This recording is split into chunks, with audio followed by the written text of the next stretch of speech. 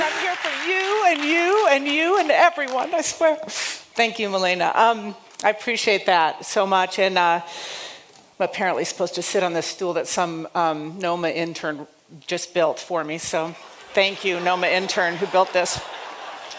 Um, I know, I saw them out back They're like, oh shit, this is what I came here for. Um, anyway, and I, I did want to say just, uh, you know, Trish, uh, we, we started writing about um, sexual harassment and sexual abuse in the restaurant industry, and uh, with my uh, co-writer Julia Moskin, and we were like, "We're the recipe girls. What are we doing? This is crazy." But we and we talked to dozens of people, um, and most of whom were off the record. And Trish and some of her colleagues uh, agreed to go on the record, which was an incredibly brave thing to do, and I think it made our journalism much more powerful. Um, and I think also took some of the shame and the fear out of speaking up. And so I think you've seen a cascade of people who are willing to go on the record now, and it's because Trish and people like her were brave enough to do that. So I just want to say one more thank you for that.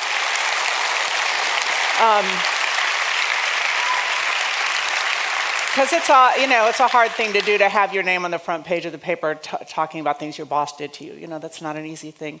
Uh, and I also just want to say that the uh, the Pulitzer Committee gave um, you know, gave the New York Times an award for public service for not only the package of stories that we did on um, Mario Batali and the Spotted Pig and Ken Friedman and that, uh, but also for uh, a series of stories from Harvey Weinstein to Bill O'Reilly. And the fact in our business, public service is the highest Pulitzer you can get. And the fact that the Pulitzer Committee saw that the Me Too movement was really the social issue of our time speaks a lot to, to where we are and, and to the topic of the seminar. So thanks, Melina, and to Renee for, for making this topic. Can I introduce my panelists now?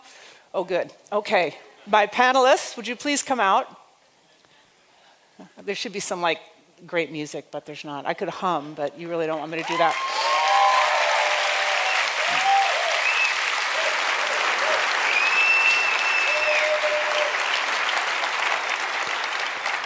All right, so um, Wade Davis, the son of the South. I live in Atlanta now. So um, uh, he is uh, a former NFL player, and for those of you who aren't from America, that's the football with the long, pointy football. Uh, uh, he started writing about being a closeted gay man in the NFL in 2012, and it kind of burst open this second career. Uh, he's a, a, social justice advocate who um, writes, teaches, uh, educates about, particularly about the intersection between race, uh, the LGBTQ community, which even though I am a member of, can never get right.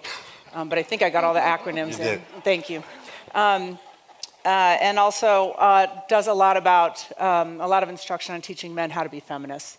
Um, next to him is Lisa Donovan, uh, who, excuse me, my nose is running. I said this, this is why I'm a writer, not a TV person. I'm, I don't think Ellen DeGeneres has to like worry about her nose running on stage. Um, Lisa Donovan, also a daughter of the South from Nashville, uh, is a pastry chef, but used her skills to bring the Nashville community together in a series of events, and that kind of evolved into uh, a book, and also she's doing some television. Um, and for our purposes here, um, uh, wrote a very moving essay in December for Food and Wine that won a Beard Award. Um, are you passing me a Kleenex? I love this. That's sweet. oh my God. Thank you. Isn't that sweet? I swear the people here are so nice. It's amazing. I know all the. I thank you. Um, I know all of the all the Noma and the, the mad people. They're always like, "Can I do anything for you?" And I was like, I want a three legged pony, and I would like it delivered to my. Anyway, so Elisa um, uh, has articulated, I think, what so many people have felt um, about uh, the nascent Me, Me Too movement. Um, and we have to remember this is a movement that is still very young. And as we learned with the Asia Argento thing, can be very complicated um, and, and is, is is just really beginning. You know, it's important to kind of think about this as there's the world of sexual assault, there's sexual harassment, there's sexism, there's power and privilege, and kind of there's a Venn diagram, like there's a place where all that meets. And because food is our cultural currency, it's really playing out in the restaurant business. So we'll have a discussion about um, all of this, and I think we have about an hour. So halfway through or so, we want to open it up to questions that you all have, and so we can start a little bit more of a dialogue. Um, so just kind of keep your questions in mind. There'll be two microphones, and we'll sort of point to, to each of you and um, make sure you wait until you get the microphone to speak so people who are listening at home can, can hear what you have to say. Um, I just want to read for one, uh, just a bit about uh, from the essay that Lisa wrote in Food and Wine in December. We've all been surrounded by a kind of terrible and disgusting behavior. It's a boys' club that we've all just laughed off, dismissed, denied, rolled our eyes at, even when we have seen it day in and day out. When we've seen women give up, when we've heard people say they just couldn't hack it, when we brought into when we bought into all the ridiculously damaging mythos of our industry. It's birthed a deeply set way of denial and delusional behavior. So I think we are kind of coming out of the denial period a little bit. Um, and then the question is, how do we move forward? I, do you think, Lisa, do those words still ring true to you? Do you think we are past denial, or do you think we're still in that? I think we're having different conversations. I think that's why this was really important to sit in a room full of people who are all having maybe similar thoughts, but probably also somewhat divisive thoughts, right? Like I, I, think I think there are small groups of us having conversations together, um, but uh, I don't know that yet we've been able to have a really big conversation about. Uh, you know, well, it feels like a weird fever dream, right? Like it feels like this last, all of the information we've just sort of been buried for the last six months, and um, and I came here with no answers, so I'm just gonna. I mean, I came here just wanting to be honest about how I feel, not to be correct, right? Like, I, I, I think that we're all sort of watching things change, and I think Trish was correct. We're, we're writing this chapter right now, and I know what my experiences were. I, knew, I know how I was complicit. I know what I wish I could have done better. And I think I know what I want to try to do to move forward. So, uh, you know, I, I, think it's I think it's different every day, and that was last November. You know, right? So, I mean, I think we're in a period where okay, is it enough to throw away your Mario Batali cookbook? Maybe think about getting a new HR policy, and then stop telling the new girl in pastry she has a cute haircut. Like, I think we need to move to, to something more internal, maybe a little yeah, bit. Yeah, I think. Um, so, I, do you think that? Uh, uh, and we had talked a little bit about this off stage, there's a place in the business where there's that sexualized camaraderie that's mm-hmm. kind of cool about being in the restaurant business. Yeah. As you said, we're all kind of, you know, people in the restaurant business are sort of misfits and uh, you kind of like that playfulness on the line. And then there's sexual predation. Right. Right. And I think initially, and I, I don't, I think maybe again we're a, a little bit beyond that, but I do think that there's a hesitation, you know, and I, again, not to keep riding on Trish, Trish's, Trish's wave, but you know, I can only speak to my experiences in American kitchens. And when I'm here, I see a very different set of dynamics. Um, of course, I haven't worked in one, I'm just watching. Um, but I do feel a hesitation amongst chefs that was always sort of the latent hesitation, which was uh, I, this is my community, this is my family, I trust these people.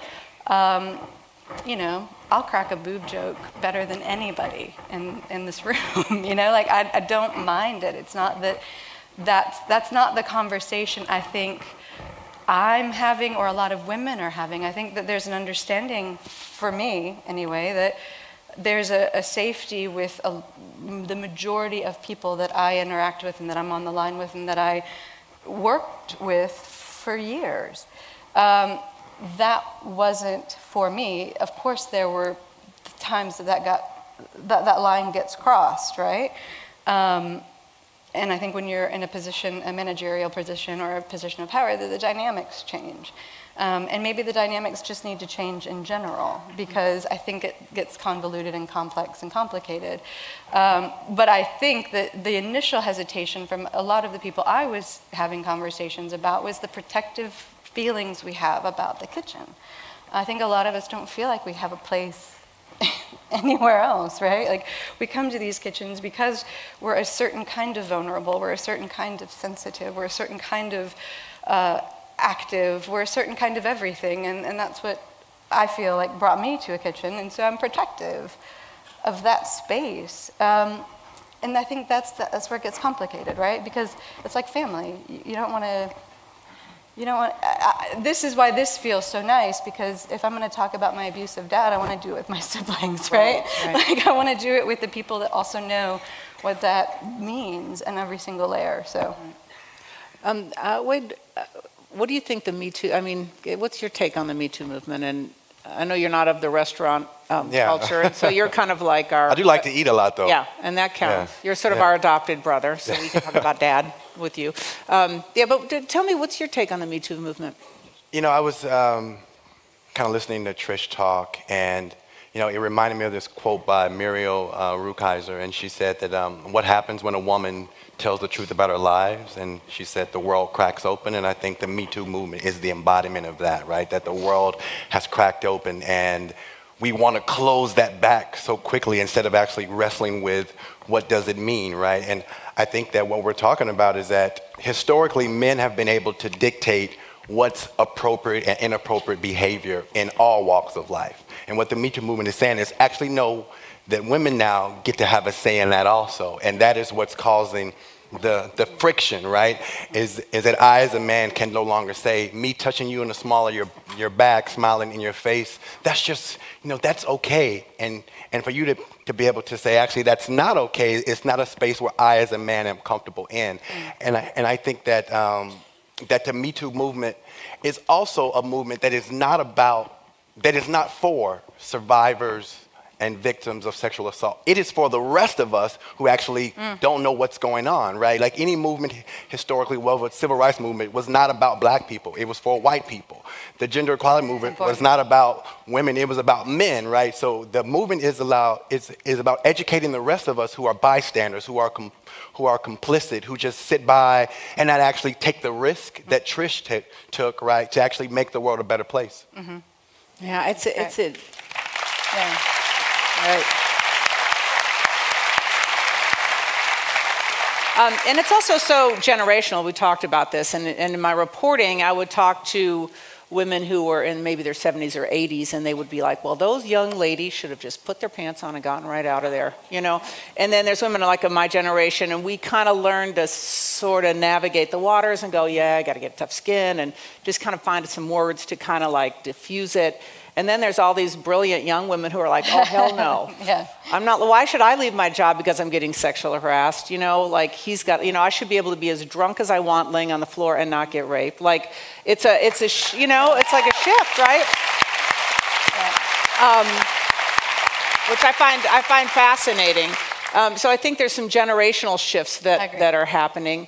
Um, but I also think that um, there was a, feel, a place we were in that was sort of a scorched earth place. So who's the next offender? And people would call me up and be like, who's next? Who's coming down next? You know, like it was, um, and there certainly was a, you know, feeling at that moment because there was like, oh my God, you know, once you start seeing it and, the, and you start reporting it, it, it goes. But I think now we're sort of moving into a place that, you know, like how do we move forward out of scorched earth? So uh, what is there? Is there forgiveness? Is there reconciliation? Is it about like how do the people who perpetrated this come back into the fold, or is that not the discussion to have at all? And I'll, I'll ask you both that same question.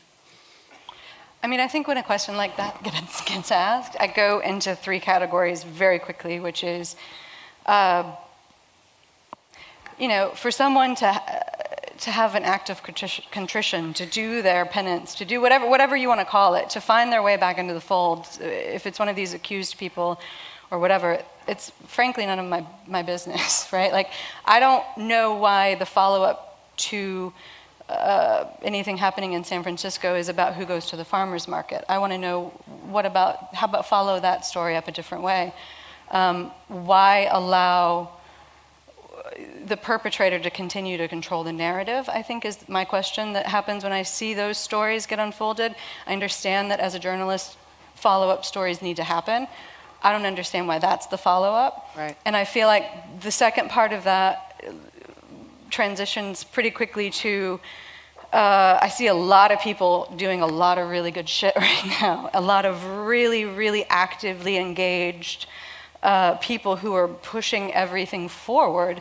And that creates a very, very, very distinctly forward focus. And I just feel like that shit's got to just stay behind, right? Like it's, if it's not, if it's not in this in this visor, I don't know why we're, we're talking about it. If it's not actively engaging us in that actionable, hopeful future, I don't really know why it's a part of the conversation. However, I think there's something useful there because back to that generational divide, I think that there are some conversations being had right now um, where women seem, not all women, and uh, you know, not a lot of the women that I think we all engage in these conversations, but I think uh, there are extreme cases where some people are attributing uh, the conversation to uh, using words like bloodlust, right? It's, that's, that's damaging. That's a, that's a really damaging stance to take because what you're doing is you're undermining the entire movement, right, of, of us trying to have a conversation that perpetuates forward. Let me bring people up to speed with two things you referenced. Okay. Just for this so the first thing we were talking about is there was a chef in the Bay Area named Charlie Hallowell who um, uh, a colleague of mine in the San Francisco Chronicle wrote about um, uh, people, many people came forward who used quite uh, very, um, pretty brutal sexually, was sexually harassing his staff. Um, and, and when you, say it sounds so nice sexually harassing. It's kind of a, but like he was, you know, a pregnant, telling a pregnant, asking a pregnant staffer the last time she had sex and how it would feel to have his organ in her. He would instruct yeah. people on how to make pizza dough by saying it should feel it should feel the consistency of a fat woman's breast. That's like to an employee was teaching him how you want, you know. So, and those are sort of mild examples. Wrote about it. He was sort of ousted. He wanted very much to have reconciliation and do restorative justice, and he was a very you know, he did a lot of good. He did a lot of social good for the community, um, but he also had this other behavior. So recently, he tried to go back to the Berkeley Farmers Market, which is in Berkeley, California. And if you're in San Francisco, you know, all of humanity, all of life gets played out at the Berkeley Farmers Market. It's that important.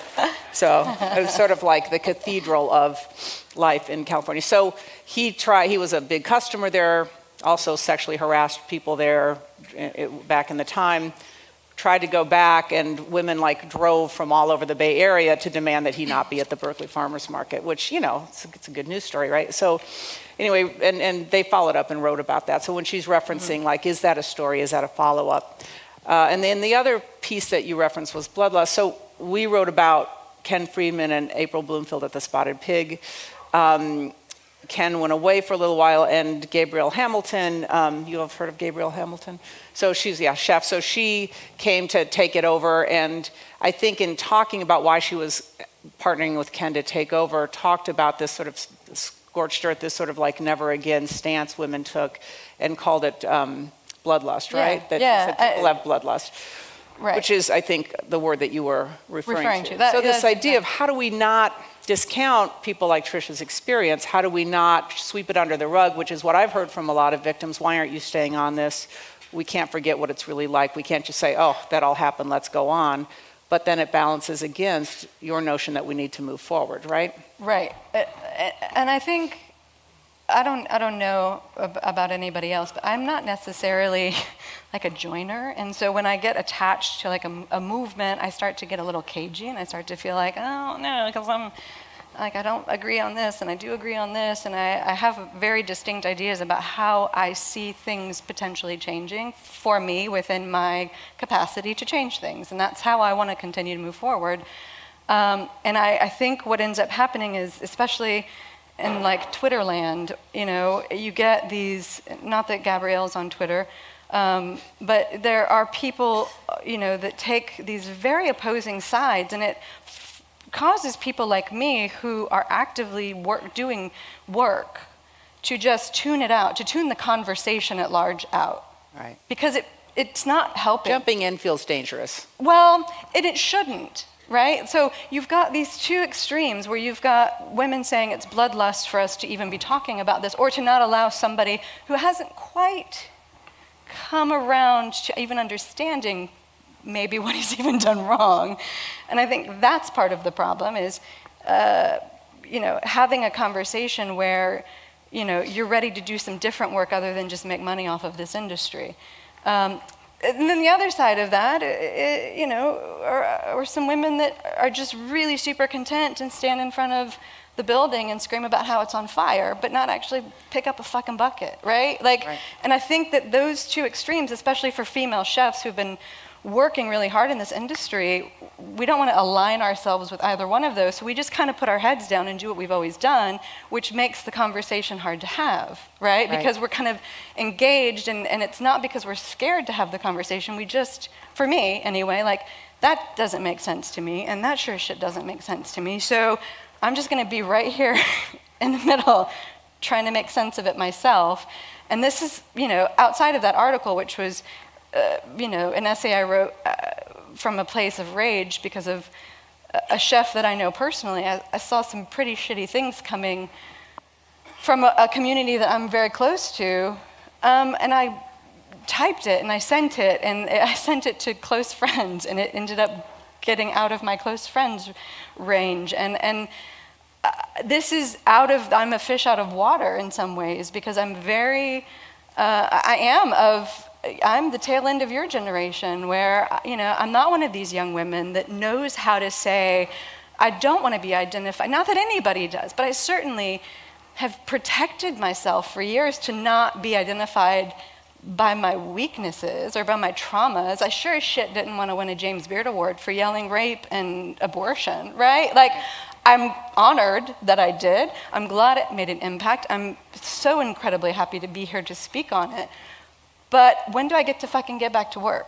Right. Is is the is the thing I keep thinking to myself, right? Right. Like I know there's work to do and I'm I'm here, I'm in it. But I think a lot of women are feeling like okay, do I do you want are you calling me because you want to talk about what I'm working on? I've, I, I get phone calls about other men still. Right. Like, when am I going to stop getting asked about the male narrative? Well, let's Uh, talk about so that for a that's- second. And I this is where that's you huge. come in. right. Thank you. Yeah.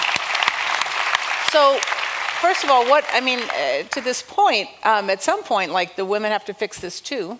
Like it's a little exhausting. And then also, what would what advice would you give to somebody who's, um, uh, you know, trying to wake up to their uh, sexist behavior that they maybe didn't quite even understand? I think there's a lot of men who are just frankly baffled. Like all I did was say that she looked really cute in those shorts. Why is that a problem? You know, we are people working Yeah. from there to also people who are like, you know, really doing egregious behavior. So, what are what are men's roles in this? And then, what advice would you give to somebody like a Charlie Hallowell or a Ken Friedman? Yeah, so um, you know, one of the things that so I I do a lot of coaching with men, and you know, I get phone calls from PR people from men who have done really awful things, saying, "Can you work with this person?" And um, you know, let me say this: one thing I'm disinterested in doing is telling women what they should think or how they should feel or how they should act. So you you will never hear me say that. Um, I think that what we're really talking about here is that we are deeply interested in ending this conversation because we want to get back to, you know, life as normal. But we also want to think of ourselves as good people. And we're fucking not. You know, like like none of us in here are good people. Like we're just human beings. Like like as long as we want to see ourselves deeply as good people, we will never own our complicity in these actions, right? Like none of us are good, none of us are bad. We're just humans. Like, we are just human beings who are perfectly flawed. And if we can rest in that uncomfortableness of saying that I've done some really amazing stuff in this world, but I've also been a jerk too, right? So when you tell a woman you have some really cute shorts on, think about it. Would I tell a man that? Right? So, am I saying this because I actually want a different type of reaction from this woman than I would if I told a man that, right? So, so It's a motivation. Yes, like like what's the intent that is behind the actual action is what that we have to interrogate. And the truth is, I said earlier, we as men have never been forced to have to do that. And we're deeply uncomfortable now about being forced to wrestle with how we comport ourselves, how we show up in the workplace. Um, and, and that is an uncomfortable space. And so, what I tell men to do one is stop saying, I'm here to just listen. Like, I'm here to just listen. No, read first. Like, read a book. You know what I mean? Like, like, like there's a canon of literature Yeah. out there that women have written about the interior of their lives so that we can actually can know about That's it. right. You know?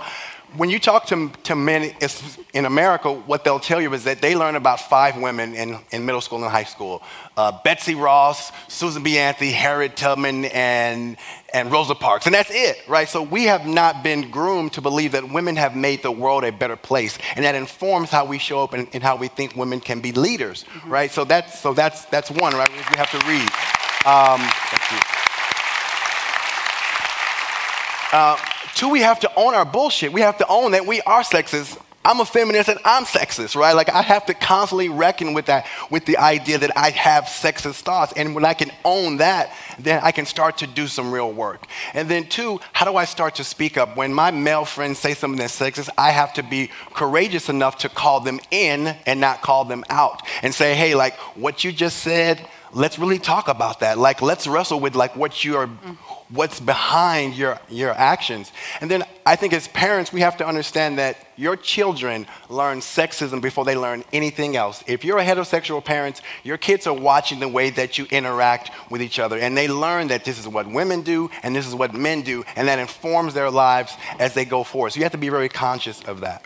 Okay, so, and thank you for that. Yeah. That's really, I, I'll- Well, and I want to, can I just do a really quick follow up? Because I think the conversation about complicity and how we're all, every single person in this room, is complicit to the lives that we're all trying to change right now, helps with the, like, how do we restore our place? Well, we're all trying to do it. Mm-hmm. And I think unless you are being, you know, and I, I think showing up and saying, I'm ready to do some work for this, is how you get to show up and do some work for this Right. right? Like we've i think we're all acknowledging that we have been uh, engaged in a culture that we don't want to continue to perpetuate. So i think that answers the first question Right. of like how do you reconcile this? How do you have you know the, uh, the permission? You, well, you, do- you do you show up. If you know Charlie Hallowell's a different story. The man's got some work to do right. He's got Emotional some labor. serious work to do. And if he happens to show up in the, in the, in the viewfinder of what we're all trying to do, I don't know that anyone's going to be like, fuck you, man. Get, you know, we're going to be like, all right, come on. Like, I think so. I think, it, I, think, there's if a lot of he- I anger. think I if think someone is, I, I'm a hopeful person. I don't want to go through this life thinking that everyone's a, a, a wash, right? Like, if he shows up where we can all see at some point that he's done some work and he's ready to do more, and, and I don't know what that work is. I'm trying to figure it out right now, you Right, know? right. I, I don't know when that is. I sure should know it's not yesterday and it's not tomorrow, you know, and it's not, I, I don't want to go open a restaurant with him, you know? Yeah. I mean, so I think there, there's, some people have way more work to do than others. Right. To be able to, to be allowed to do the work we're all trying to do. Right. So- So is it effective to do things like, um, uh, to, you know, throw away your Mario cookbooks to not show up at the Spotted Pig because Gabrielle took it over? Or is Gabrielle taking over a reason to go? Would you go to an April Bloomfield restaurant given,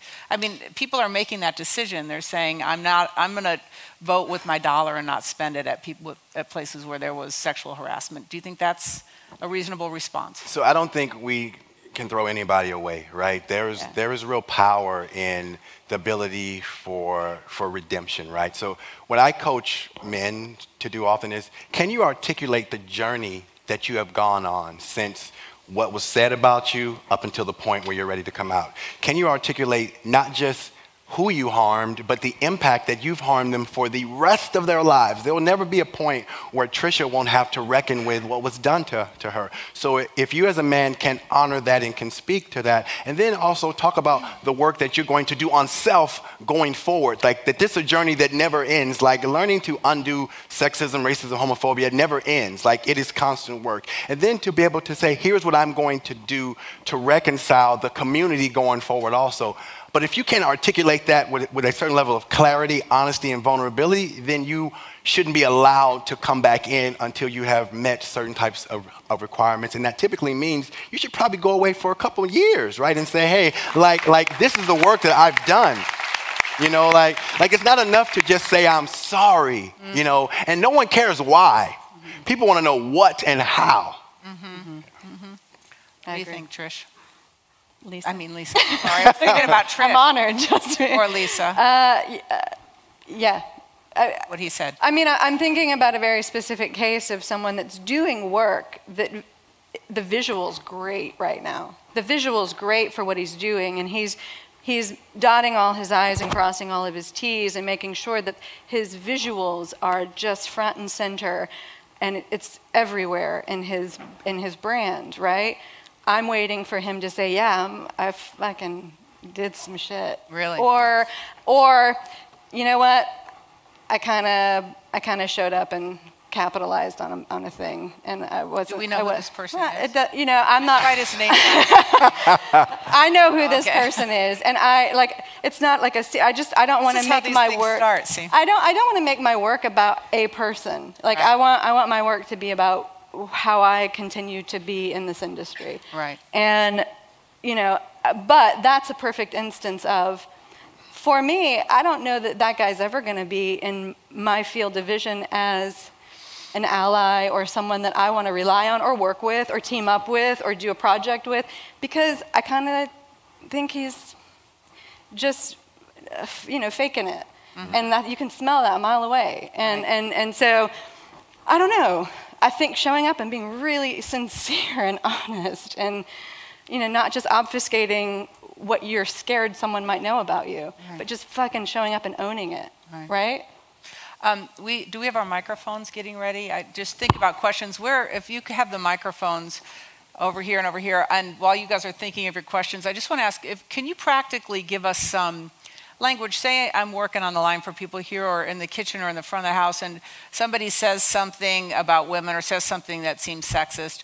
What's some good language? How do you make that so you're not calling it, like you say, calling him in and not calling him out. Can you maybe give us an example of what you might say to somebody who's, you know, says something Yeah, you know, practically? I think a simple way is so if someone says um, something that's not egregious, right? So saying that the, the dough should feel like breast is pretty egregious. And I, I, like, I don't know how to be gentle with that, right? But if someone says something around someone's clothing, right, that's somewhat innocuous, Like so and so's you looking can hot say, yeah, you can say, tell me more about what you know about what's underneath that comment about this woman, right? To, to approach it with a certain level of curiosity, right, um, and to ask a question, because then you force that person to think about what their action just was, right, and to also do it hopefully in a way where that person can hear it silently, right? So I mean, just just amongst you two, but also don't forget to check on the person who the actual words were said about, right? It's just not enough for me to think that, can I coddle you for saying something sexist? Also, there was a person who actually has to, has received probably not that comment just once, but probably their entire lives, right? So, you know, I know for a fact that every woman in here by the time that she was 16 knew what to, knew what to expect from men. Right, probably by the time that they were 12, to be honest, right? And I have to understand that, and I have to know that when a male friend of mine or even a colleague of mine says something to a woman, that she knows exactly what that's about, and I have to now reckon with you to hopefully get you to have a certain level of, of awareness so that you don't say that again. And I have to risk losing your friendship over that too. Like, I need to be okay with the fact that you may never talk to me again because I called you in about something that you just said. And then is it appropriate for you to go to that woman and say, hey, I heard that and think that's cool. How do you feel? Or is that over making it worse? I think it's going to depend on your relationship with that individual, right? Okay. Um, because you you also don't want want someone else to feel like that they aren't capable of self care and self management, Right. But to figure out a way to check in, right, that honors this person's humanity. Not riding it on your horse to Exactly, exactly, right. But to also like to let that person know that you're never going to be a bystander or complicit in the fact that something just happened there Mm. that you weren't okay with. Okay. So when we um, do questions and comments, let's try not to like do long monologues since there may be a lot of people who want to talk or say something.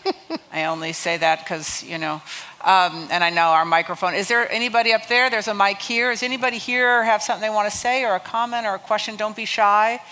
There's a gentleman Oh. right up here. Of course, he's up here. And there's which one will be in the good. back up there. and there's let's see, and there's a woman up here in the back. So maybe the second mic could go up here, and the first mic could come down here. There he is. Run right up there. I think we have it. Understand. though. Right. Yeah. Yeah. Is there? Yeah. Yeah. Oh, you have a mic up there? Yeah. Should go I up start? there to her, and oh, there we go. The mic is getting past, and then you can. Yeah. Okay. All right. All right. You're right next, right up there. Okay. So go ahead, please.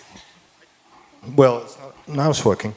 Uh, I just, for us people not living in, in New York City on a daily basis, could, could you please update us what, what actually, because I, I'm, I'm a journalist, I, I wrote you know, my version for my paper of, of your work on Mario Batali and, and the spotted pig. So, but, but could you update us? What is the situation right now? Did, they, did it hurt their businesses? Are they still in business? Are they working in the restaurants? Just a small update because it's, you're referring to it all the time and it's. Oh, it's sure. not- So, um, they do hang an effigy of Mario Batali every morning in Washington Square, and then people come and throw stones at it, which we enjoy quite a bit. No, I'm kidding. Um, uh, so uh, the, there are some. There's a criminal investigation around Mario Batali right now. There's been no charges. I need to say very fairly about that.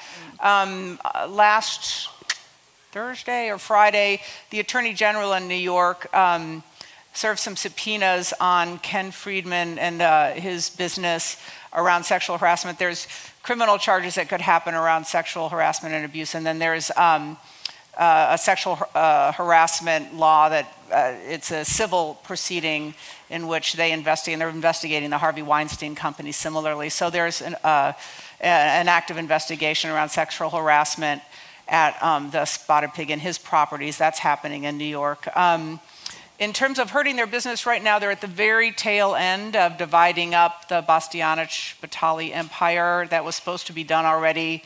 Um, it's gotten complicated partially by um, some attorney general uh, action, but um, uh, Joe Bastianich and his partners, and I think Nancy Silverton, who's not here, is, uh, that, that organization is trying to revamp. They've put a lot of money into human resource policies and redoing their business, and they're sort of dividing up what the payout tomorrow will be. I think in uh, last I knew that they he was there's maybe one or two restaurants, but I think now that I think all the restaurants are off the table, and I don't know what their settlement's going to be. We're sort of waiting to hear what that division will be.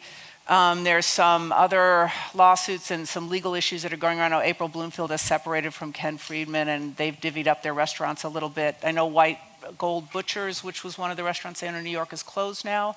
Um, and as far as we know, um, Ashley and Gabrielle Hamilton and her wife Ashley are uh, taking over or becoming partners with Ken. I don't know how active that'll be. So that's the New York scene.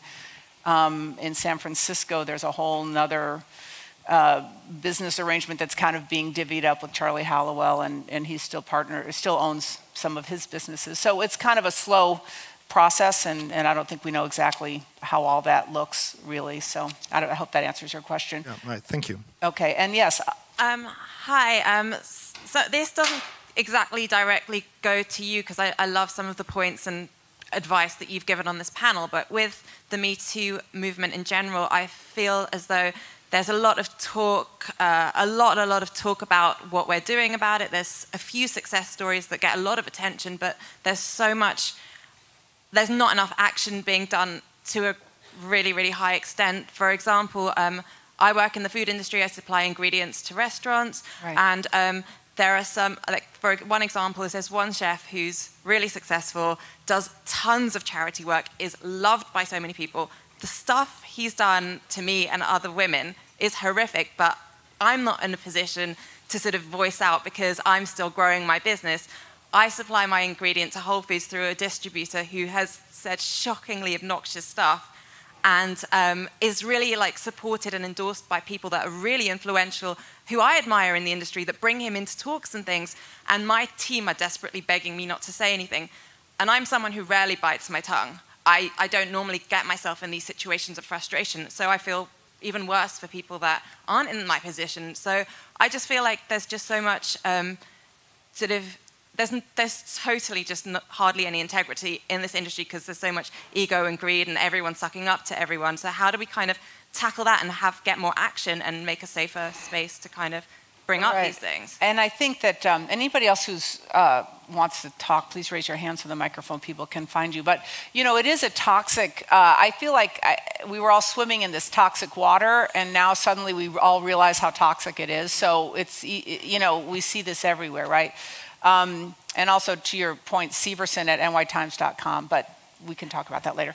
But um, but what do you do? Do you do you um, call out like uh, like do you you know like you see it all around you? Is it up to you to stand up and go up to that to this person? I mean, obviously your business depends on him, and say, you know, uh, this is really uncool. Knock it off. I mean, do we all just need to start calling this out? Uh, it, it can be dangerous for people who could financially get hurt. Yeah, so my advice would be um, are there other people who you can reach out to who are allies, right? Who you can, um, who, who you can either go with or actually have them potentially um, tell that, tell your story for you, right? Um, um, and it's hard, right? Be, be, you know, as Bell Hooks said, we all have to stand in a circumstance of risk, right? So at some point, you may have to stand in a circumstance of risk and, and risk your safety, your livelihood for the, for the, for the, um, for the good of others, right? Um, but how can you find other allies so that you can do that with because there's strength in numbers so that the backlash doesn't fall squarely on you? So that would be my advice is can you find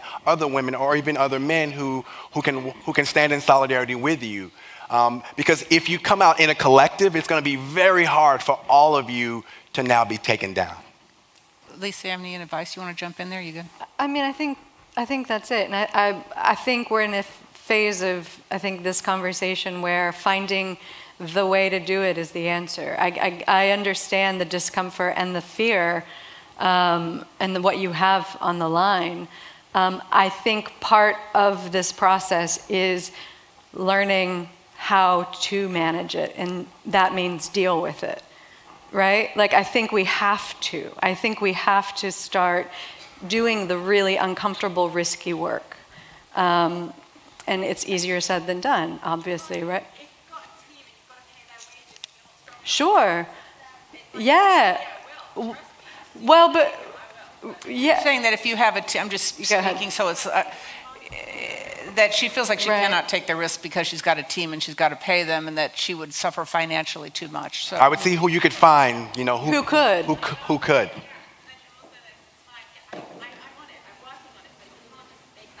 No, No, I'm not I, I saying don't that it's easy also. it's easy. We're not saying that Not it's saying easy, it's but I'm easy, just yeah. trying to give you some, some other options. Yeah. Right, and I think this just, you know, this experience shows that this is still bubbling Yeah. everywhere. You know, this isn't like, oh, we all realize we have a problem, now we're all gonna, you know, I mean, this is a very real day to day problem, I think, for women in the business. So let's, um, uh, who else had a, a question or a comment?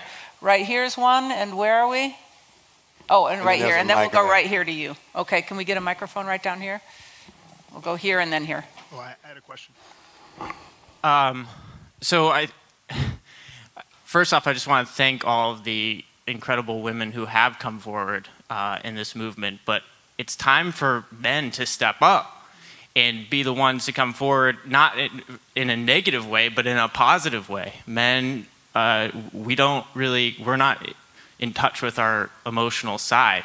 We need positive r- r- male role figures, especially in this industry. It shouldn't be a problem, like to speak out, but until we have leadership from conscious men uh, who are willing to to to stand up and and talk about their emotions, and I mean, it's it's just I just. It, like we're men still dominate like we're all in our the leadership positions like so until we have an example to, of of how to to lead consciously I, I just don't I it shouldn't be up to women to, to to be courageous and be bold and share these stories.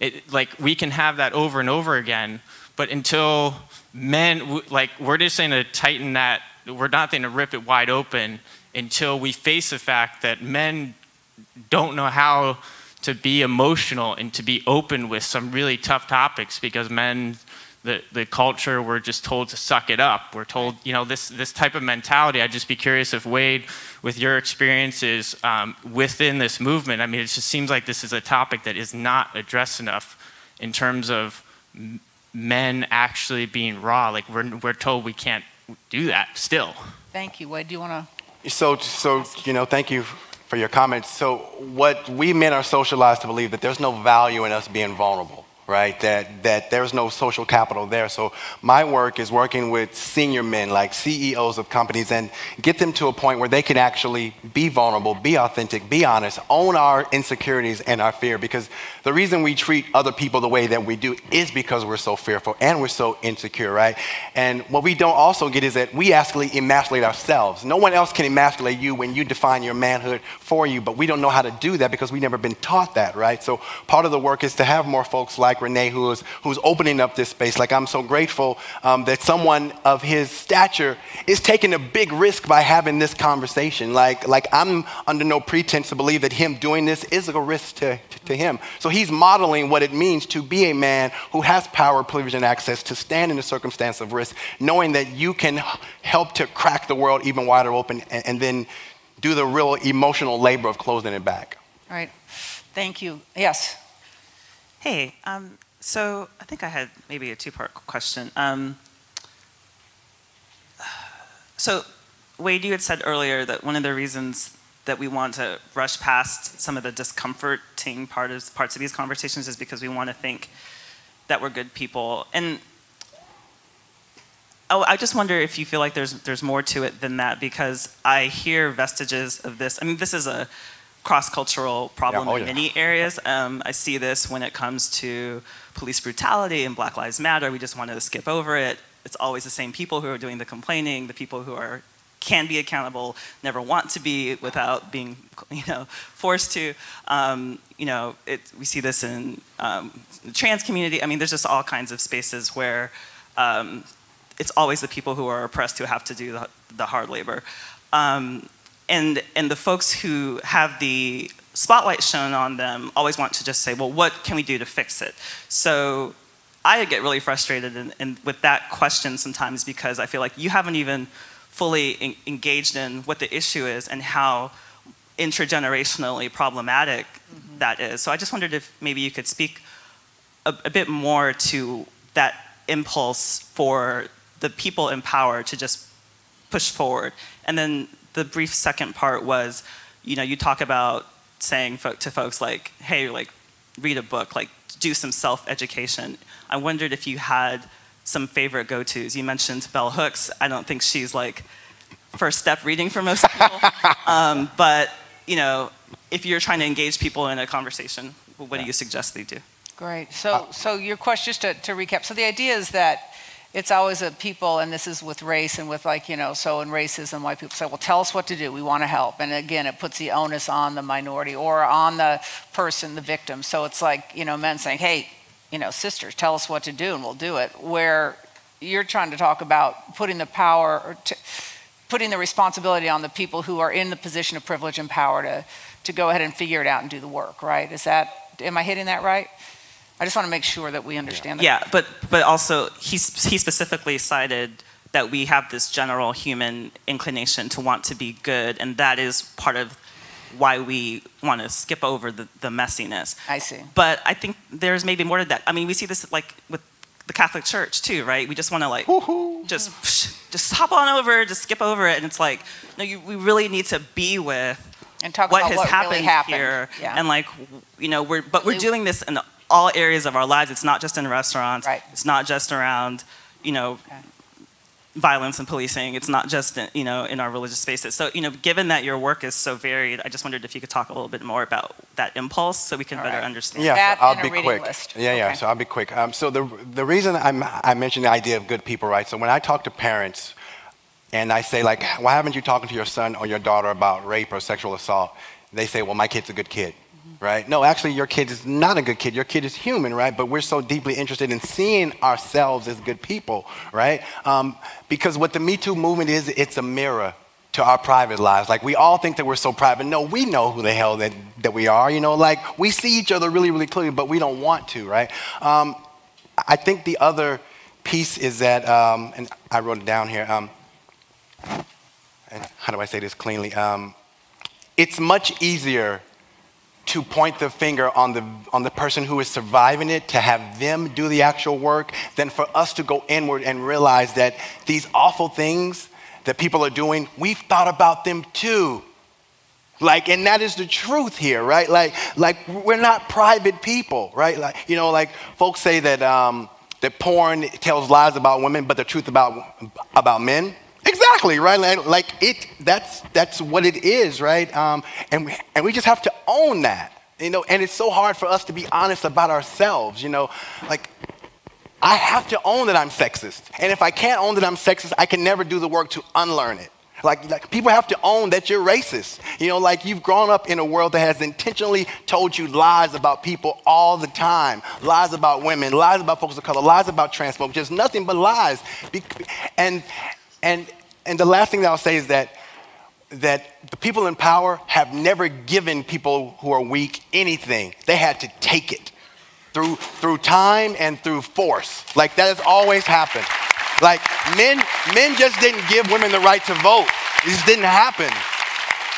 You, know, like you know, like like white people just didn't give black people the right to vote. We had to take it. Like all these movements are about having to take it back because no one is benevolent in this country. You know, men say things like, "Well, I had a daughter and I became a gender equality advocate." That's benevolent sexism. You forgot about every other woman you've known in your entire life, but this daughter now, who you want to protect, is still patriarchal in nature. So all these things we we still haven't learned, right?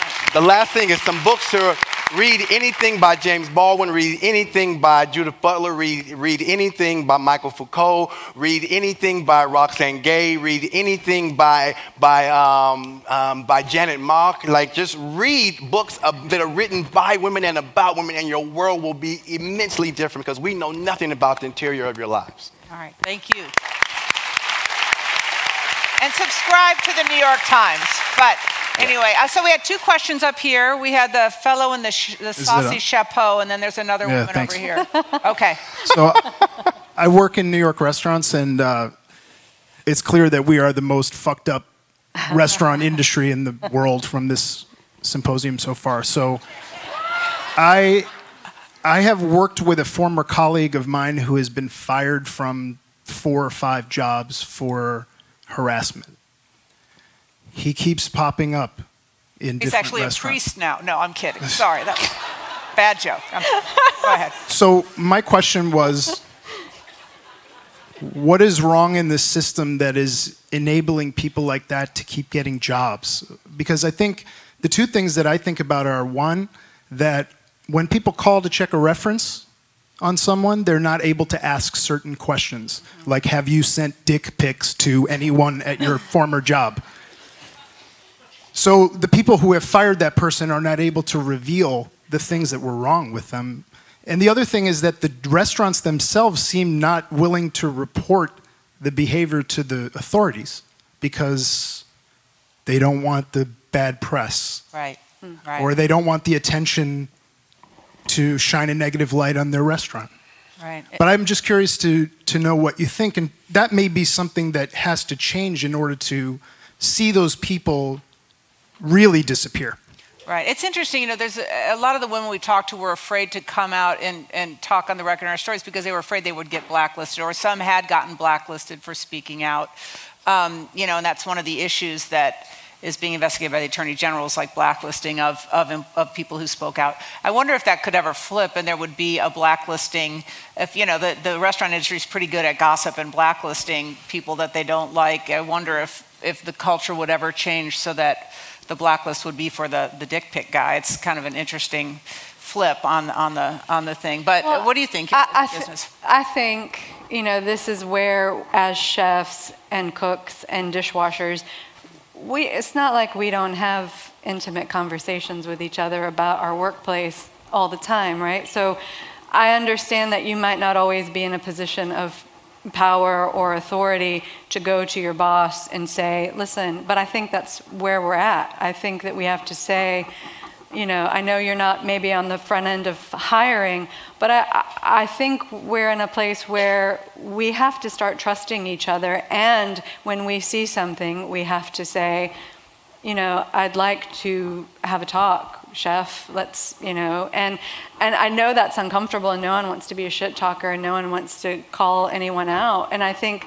um, that's a big hurdle for us because we are very uh, we're pack animals, right? Like, and and I- and I think we're starting. We've suffered uh, in the same ways that we've thrived in that, um, and.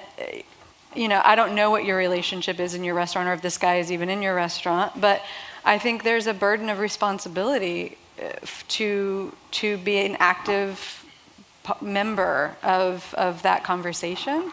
Um, and I know every kitchen is different, so that you know I know there are complexities to how every single kitchen works, and um, I- think I've seen people get blacklisted from restaurants for way less, just for being a dick, right? Like just for being rude or just for not, you know, cleaning their station well enough. I mean, and I don't know that I'm com- even comfortable with the term blacklisted. I think that it's just being a productive part of your industry.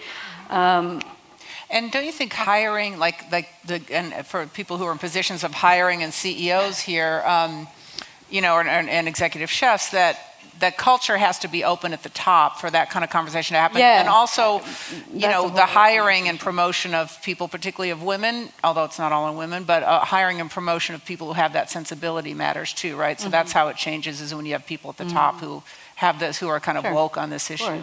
I suppose. And we live in a culture where people aren't held accountable for crimes against women, right? Like, only 25% of men who are convicted of rape spend a day in jail. Only 25%. Yes, who are of conviction. convicted. Exactly, right? So that just, just tells you how we actually value women. And I would just say to you, to, to you, not that you're being silent about it, but like there are actions that you could take, right? Like Baldwin said, silence is not just criminal, but it's suicidal, right? So this also damages you when you're silent on it. Well, keep telling. So you, s- He got fired from that job after that happened. Sorry, what I said was that I told a friend who had interviewed with this person, she was like, Hey, I met somebody that knows you. And I was like, You should know that this is the deal. She took the job and he got fired three or four months later for the same exact hmm. thing. So, a, a follow up to that would be if you know, do you show up at the other restaurant that you're not working at and like narc them out? Yes, and I wouldn't view it as narking. I wouldn't view it as narking. Yeah, I mean, No. So I, I- because because I think our industry and, and I appreciate your answer, but I think our industry has this sort of like fucked up ass code that Well, that's what- Culture of that's- You know what I'm- yeah, well, Well, that's but what I'm trying to address is the fact that we all have it. It's all the, I know. I know what I know the feeling you have right now. Trust me. And I, but I think that if you take it apart, you. I mean, do you really have to storm into that restaurant and like flip a table and be like, "Fuck that guy, get him out of here," or can you sub, like go the back end and be like, "Listen up, I, lo- I like you guys. I want you guys to just know. Here's what I know. Here's what I've seen. Do with that what you want." And then, you know, that guy's fate is that guy's fate. He's made his bed, you know, or, or and, and now, you know, I, I, I know where you're coming from. I've been there. We've all, every chef in this room probably has been there. I think if it's a nefarious enough person, I, th- I think those are conversations we just have to keep having, and we have to change the language for ourselves, right? Like blacklisting and narking and all of these language, all of these things mm-hmm. where we take on some weird ass burden uh, that we're doing something wrong is a very deep part of what we're trying to untangle here, you know? that's really the last thing I would say is you're 100% right that the language of narking itself sounds like that what you're doing is negative. Right. Like I would actually call it something very different, like a culture of care. Or, you know, just just something different to reframe it. And that's why I wanted to talk about how protective um, chefs are, because I think we've been protecting the wrong way. We've been doing the best we can, but I think that we, uh, for me, I think the move right now is to start having conversations that feel uncomfortable, but they're actually, it's like being a mother. Like, there's a lot of stuff I don't want to have to talk to my kids about and do, but I do. I, you know, I mean, I had to have this whole weird ass conversation with my daughter. She's 13. She took the city bus. Uh, you know, uh, some guy came it was uh, she had an awkward first experience with a, an adult man who got too close to her and i had to give her directives that no one should say to their 13 year old daughter but that's what we do right like that's what we have to do that feels like my job as a mother and so i think i'm trying to look at it through those those eyes of I love this industry. I, I love it. I love the people. I, I, I, I, I don't know where else I would ever want to be. And so, with that same love, I have to figure out how to have conversations and change my language because for so long I internalized the problems I saw and how I needed to digest them and manage them to protect myself, I guess, or to protect the industry in some weird back, you know, back ass way. I don't know. So, you know, I think we have to really change the way we see protecting this industry. All right, let's, let's go to our next, is, yes, go ahead. Yes, hi. Um, well, I have a comment and a question. The comment is, uh, well, thank you for doing this. I've been, I'm a woman, and not only in the industry, but in other aspects, I've been going through uh, these problems all my life. Also, I come from Peru, and the culture, the cultural difference, I think it's always very much involved in how these things evolve. I think this is really, really a start, even in the industry and the Me Too overall. And the more I read about it, the more I feel me myself as a having all of these sexist beliefs myself so rooted in them. I'm also a mother, and, and the way to think about how you have to deal with this right now and how we have to work on that is like very important. So I think there has to be call outs, there has to be calling ins, there has to be a bit of everything so that this really works because some places need more aggressivity, otherwise people don't react. And this brings me a bit to the role that we all have to play. And my question is about press, because I feel that the, the press industry has a very, very big weight right now on all of this, especially because we are so into social media. And the impact Me Too has had is also because of social media, also because of press.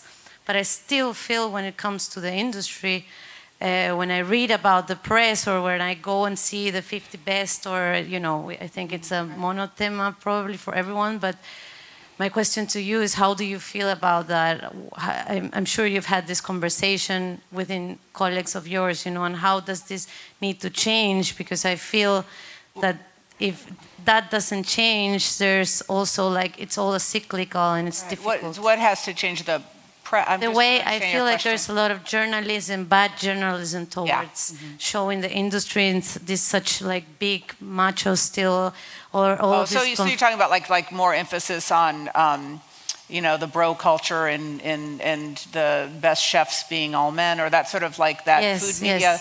Like yeah. your opinion about, uh, in general, how press is dealing with the Me Too movement in the right. restaurant. Well, you know, I again, and thank you for that. I, um, you know, there like in restaurants, there's really shitty restaurants and there's really good restaurants, right? So there's really shitty journalism and there's really good journalism, and the media is. People say blame the media, but you know, media is a lot of different things, right? And um, some of it's good and some of it isn't. And um, you know, I would encourage you to support the journalism you think is good, whether if it's a, a newspaper, a food magazine, or a you know, tell whatever you do, like consume the media you think is good and that you trust and ignore the rest. I mean, there's a lot of noise out there. There's a lot of bad. We're not a monolith. And I think, you know, we're looking, we're having a debate over what food criticism is in America right now. And it's been white male perspective for a long, long time.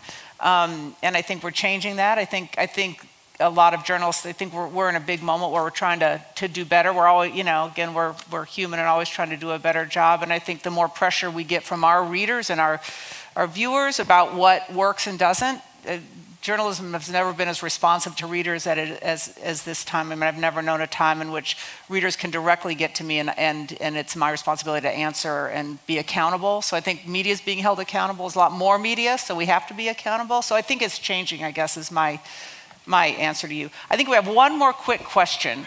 We don't have a lot of time, but could we do I- one more? Take us out on a good one, my friend. yeah, I, I No wanna, pressure. I, I want to finish this on a more positive note. I'm standing under a horrible angle for this conversation. So uh, I agree that um, uh, that harassment at workplace is a horrible thing, needs to be addressed, and this is a deeply cul- cultural issue. But I also uh, want to hear your thoughts on how to not get over paranoid because uh, most of us are working very close together and i've been working for 13 years in the industry and i've been divorced twice. And uh, some of the more meaningful relationship i have been able to have were with employees.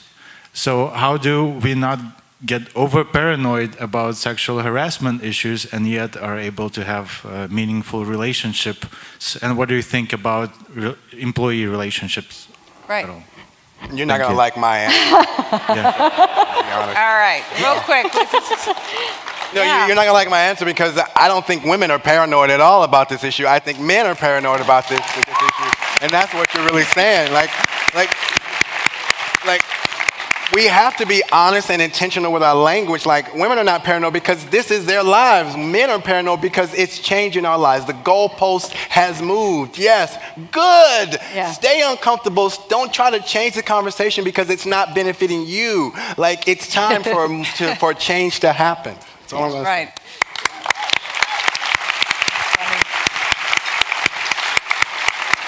So, you want to jump in there, Lisa? Give us some last words of advice. Uh, like that, was, I think, a great ending. There. Right. I, uh, there you go. So, right. It's uh, if if if you know, probably if you think you want to ask her out, it's probably just don't. That's like right now, probably a good idea. Anyway, I thank you all for this panel. Your honesty will be around. Thank you